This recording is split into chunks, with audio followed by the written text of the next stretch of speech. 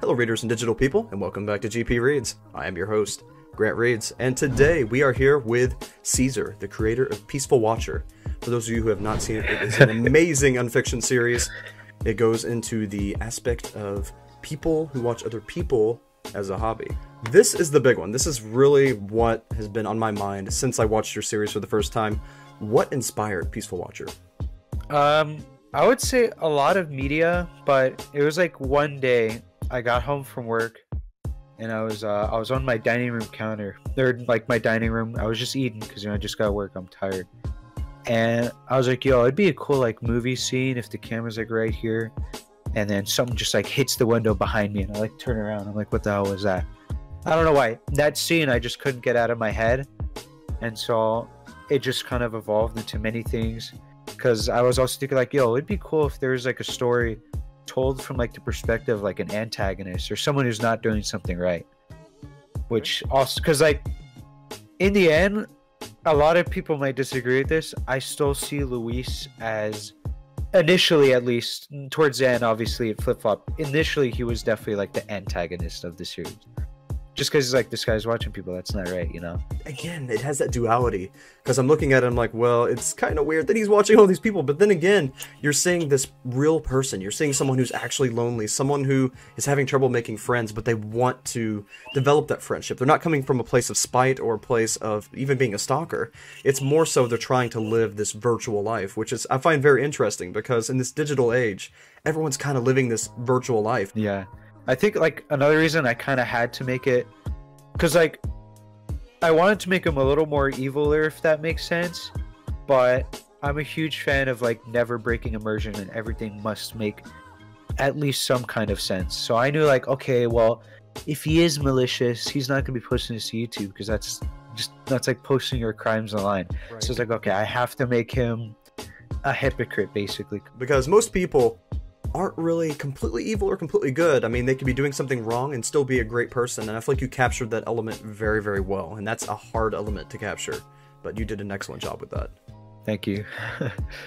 now to get into the kind of weird part of it. So to expand on that question a little bit, um, I oftentimes watch people at like parks and stuff riding their bikes, just you know, seeing people do things. It's interesting. It's interesting to watch people, and it's it's not something that's bad per se, or at least I hope not. I'm not being a stalker. It's just you know watching people in general is entertaining, and that's why we have all these medias such as uh, streamers and things like that. We like to watch other people. How would you relate the two? Um, streaming with what the Peaceful Watcher is doing. Do you see that as being something completely different, or do you see those two things as being kind of similar?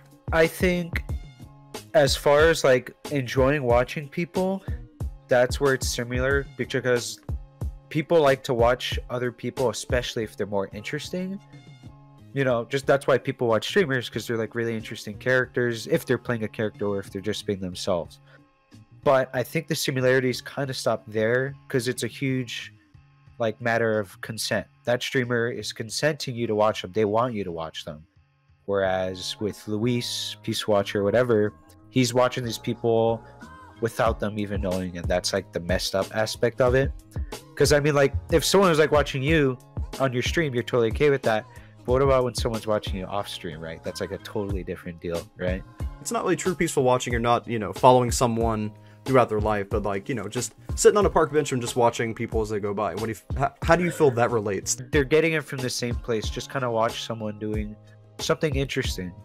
And like some people find the mundane interesting. So that's kind of like where it comes from again, going back into Peaceful Watcher, it was very well put together.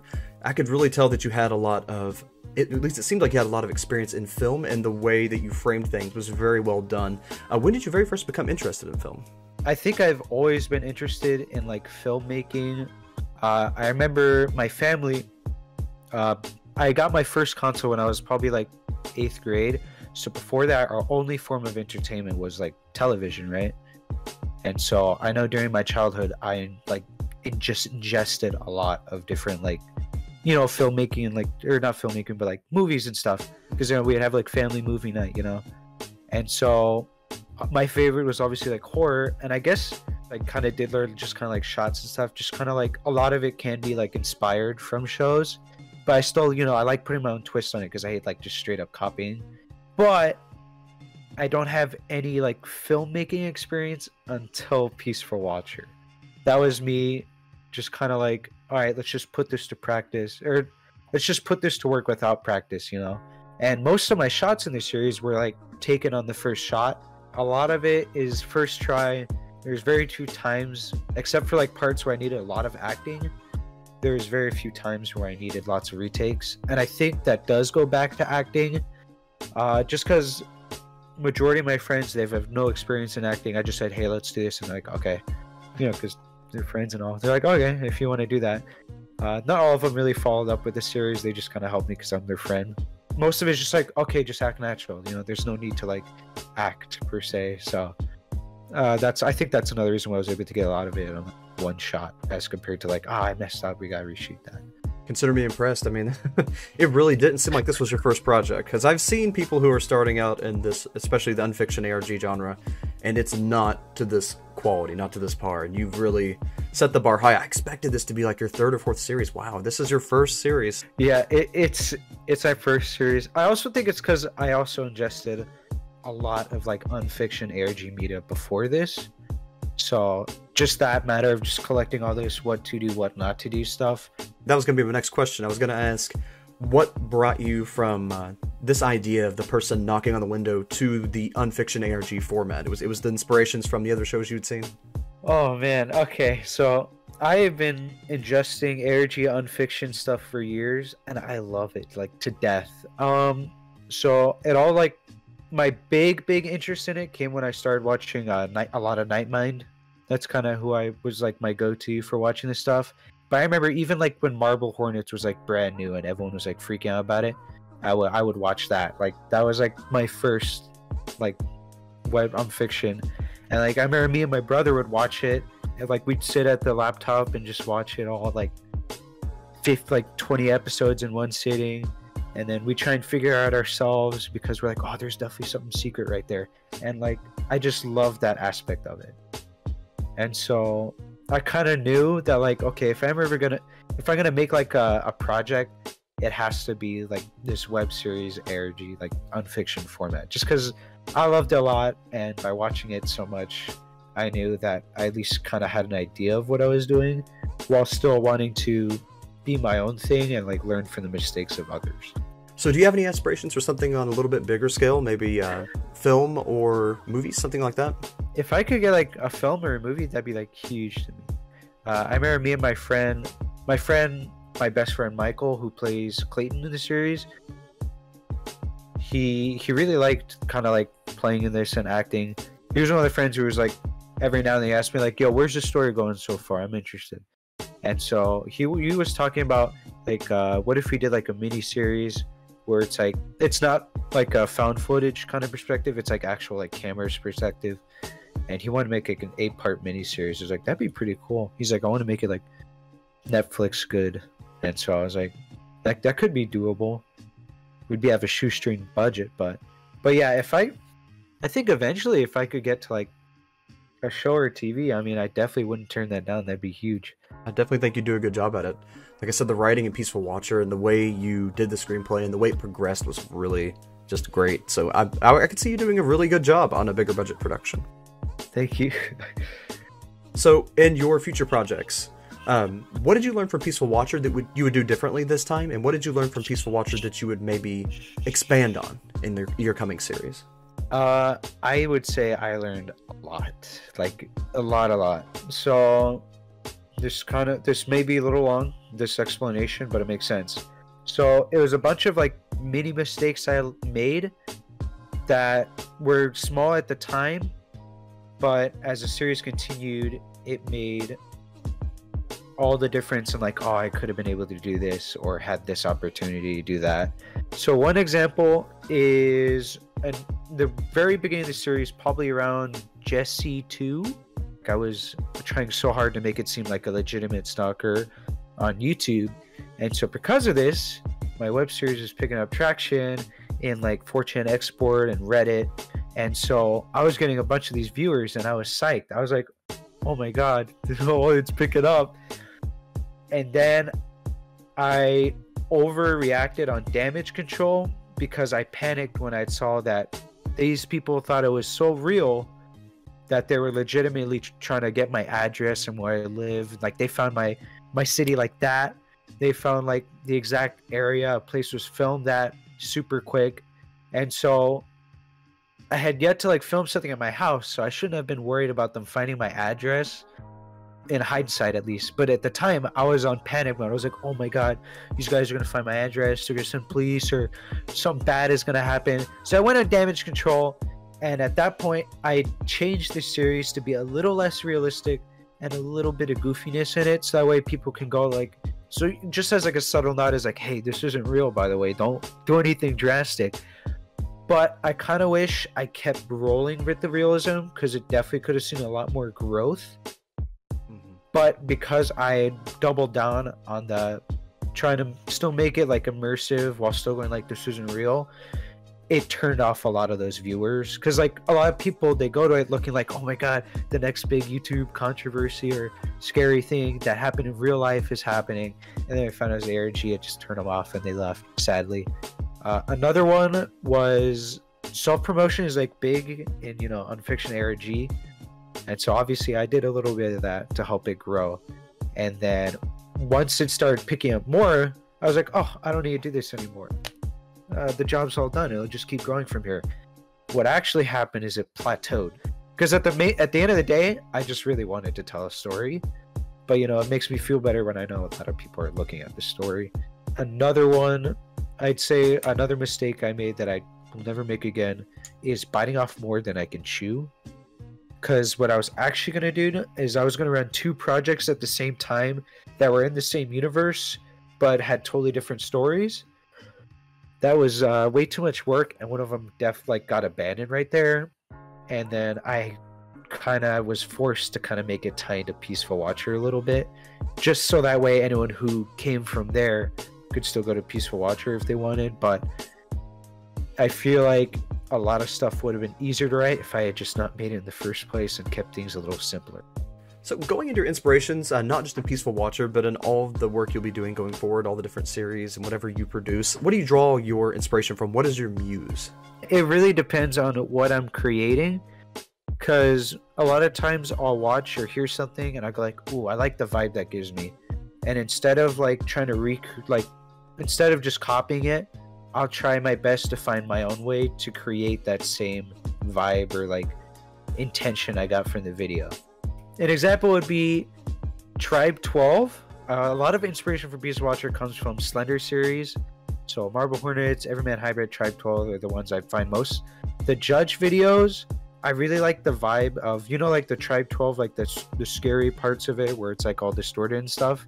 Yeah, so I really like that, and I was like, okay, I like this, but I don't want to just put reverse music with stock footage like they did, because you know that'd be just straight up copying them. And I tried really hard to create that like that feeling I got from it in all the judge videos. I kept the black and white part, but I was like, okay, I don't want to just take stock footage. I want to like make my own, and then I don't want to just reverse music. So I made my own music. All the judge video music I made myself so I'll just do like different parts of it, doing acapella in the mic, and then I'll just edit the way the voice sounds. Because I, I don't know how to play any instruments, I don't know how to use any music editing software. So I just kind of think of a theme, I'll come up with it, and then I'll put all the voices together to make like this acapella song type thing. But you can't tell because you know how much I changed it. So, once someone has completely went through uh, Peaceful Watcher, what message do you hope that they take away from it? After doing all the solves, everything. I thought of this in the very beginning. um, so I once heard someone say that like every good story has a moral or a lesson or you know like a big theme. And so for Peaceful Watcher, I'm hoping the the big theme they can learn is kind of like the dangers of hypocrisy, if that makes sense. Okay. Because there's a lot of characters who will preach one thing, such as Luis or Clayton. They both did this. They'll preach one thing and then be doing the exact opposite. And instead of understanding that what they're doing is hypocrisy or like wrong, they'll just try and find ways to justify doubling down on that. And that led to a lot of the major problems in this series for both characters. Luis, he comes up with these rules to justify his stalking, saying it's not stalking, you know, I'm just peacefully watching these guys. But as he reveals later in the story, he is doing a lot of these these uh, things that he said he wouldn't do. I think the only one he didn't end up breaking was he wouldn't film women or children. That was the only one he didn't break because I mean that'd be weird if I had to record that. Now, this is something I'm also kind of curious about. Uh, the twist with Clayton was that something planned from the beginning? Yeah, and Clayton, I love that I made it like a twist because I could put these little drops, like little hints throughout the whole thing that wouldn't make sense at first, but then they would later on. Uh, I'll give an example. Like in the first judge video, the first thread he ever gets from the judge, Clayton, whatever, he mentions Hector a lot. You know, like, I'll make you pay like you did Hector. And so upon watching it with only the information you have at the time, you think he's saying that because he's like, Hector was my last victim. You know, I messed with him. You're next. And then later on, you find out is Clayton had to watch his friend go through all that psychological torment and stuff. And then being filled with rage after his friend finally died, wanted to just inflict on someone else. All right, so I do have one more question for you here today. And this is the question that I ask everyone. And that would be when you're gone, I don't want to be morbid, but when you're gone, what message would you like your work, your art to leave on the world? It's going to be very cliche because everyone says this, but I just cannot stop hammering at home how like important this idea is. And I know everyone like everyone says this, it's very basic, but it's because it's true and that is the idea that if you want to like do something or make something, whether it's a web series or whatever you want, just like, you know, go do it. Like actually get up and like go do it. Like even if you don't have a plan, just start doing it. You won't really know if you're good at something or if you like something until you do it. Like for example, before Peace Watcher, another COVID project I had was I made my own homemade board game, and my friends liked it. It was pretty fun. So I guess maybe that was like the first in big projects. I was like, you know what, I'm just gonna do this because I'm also a big board game enthusiast. All right, well, thank you so much for joining me here today. I really appreciate you taking out the time for this interview. Uh, I've had a great time really learning your inspirations behind all of this. Um, really kind of digging deeper into this because when I approached Peaceful Watcher, I didn't know what to expect. And then once I got into it, I found out it was this extremely deep project, many layers, it all connected in this very cohesive, beautiful way. And then to kind of get into your mind and see that it's you as an artist. You really have this artist soul. And you don't even have this. What inspires you is to show others what you were inspired by. And that is the mark of a true artist. And I really appreciate you sharing that piece of yourself with us today. Thank you. Uh, oh god, I don't even know what to say when people say stuff like that to me.